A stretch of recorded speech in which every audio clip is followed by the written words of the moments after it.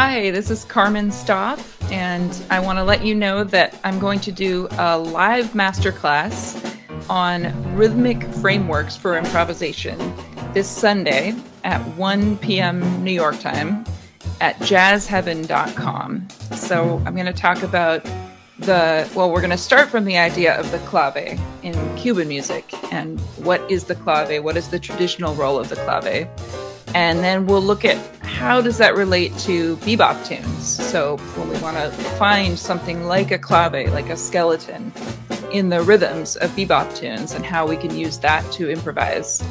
And then finally, we might want to say what are the pieces of rhythmic vocabulary that are used in bebop, because as we know, it's not just a harmonic or melodic language, but it's a rhythmic language. So I hope that you can join me. I think we'll have a lot of fun.